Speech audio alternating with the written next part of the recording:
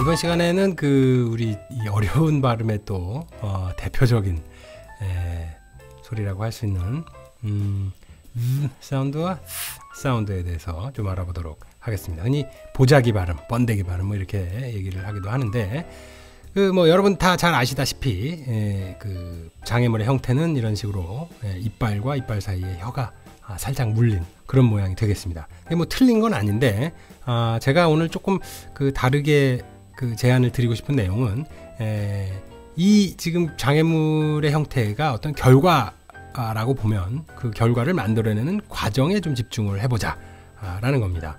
아, 그게 무슨 말이냐면 음, 이 지금 이빨과 이빨 사이에 혀를 살짝 깨문다라고 생각을 하고 있으면 그러니까 다른 소리들과 함께 섞여서 얘기를 할 때는 상당히 불편하다 그거죠. 그래서 그 느낌, 그 여태까지 가지고 계셨던 습관, 뭐 이런 음, 개념 이런 것들을 좀 어, 이번 기회에 좀 바꿀 필요가 있지 않느냐라고 아, 해서 제가 제안을 드리게 된 겁니다. 아, 지금 윗니빨을 아래서 본 모습인데 앞으로는 혀를 깨문다라는 느낌보다는 어, 이런 식으로 윗니빨 전체를 혀를 쫙 펴서 덮는다. 그러니까 아랫니빨은 신경 쓰지 마시고 윗니빨에 에, 혀를 갖다가 이렇게 딱 밀착을 시켜주는, 이렇게 다 덮어주는 에, 그런 느낌을 가지시면 그 다른 소리들이랑 연결이 될 때 조금 더 편안함을 느낄 수 있지 않을까 아, 뭐 이런 생각을 좀 해봤습니다. 그러니까 이걸 이제 앞에서 보면 이제 이런 모습이 되고 어, 결과적으로 나중에 혀를 쫙 피다 보면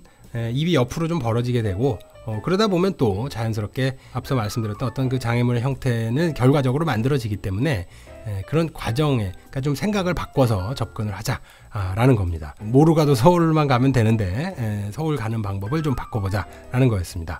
아, 요거를 조금 더 그 쉽게 하시려면 에, 지금 보시면 입을 약간 이렇게 편하게 벌리신 상태에서 혀를 윗니빨 쪽으로 대주시는 것보다 그 양쪽으로 약간 당긴 상태에서 장애물을 만들어 주시면 아랫니빨이 훨씬 더 편하게 더 자연스럽게 혀 아래로 가서 붙을 수 있다라는 겁니다. 그러니까 이렇게 당겨준 상태에서 해주시면 거의 아랫니빨은 신경을 안 쓰셔도 어, 이런 식으로 그 장애물의 형태를 만들 수 있습니다. 그러니까 음, 앞으로는 좀 입을 옆으로 좌우로 좀 당기는 예, 그런 어, 습관도 좀 들이시면서 연습을 하면 좋지 않을까라는 생각을 좀 해봤습니다.